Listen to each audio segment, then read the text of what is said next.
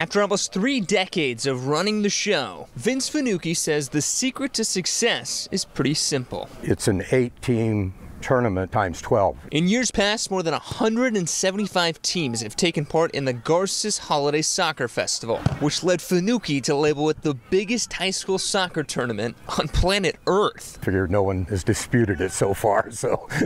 Fanucci is an unlikely organizer. He's not a fan of the sport and doesn't have a son or daughter who ever played. He just saw a need back from his time as the Garces athletic director. They asked if there was anybody that wanted to put on a Christmas tournament so that teams didn't have to travel all over and pay expenses, so I volunteered to do it. The planning takes the entire year, from coordinating hotels for teams to stay at to researching schedules and past records, all to try and group teams in the correct brackets. I've already got some notes on some stuff I wanted to do different next year. This year, he'll be missing some teams. This is the first inaugural Lion Cup. At the same time, about 10 miles south, another tournament. 16 teams taking part at Miramonte, including local soccer powers Centennial, Miramonte, and Ridgeview. Is this a competition for you, to Garces? Not at all. We're trying to be sensitive to uh, all the other schools and the weekends that they have. We've been trying to find a spot where we can host a tournament, and it just happened to be the same weekend as the Garces tournament. Coincidence or not, Fanucci says he'll keep his going as long as he can.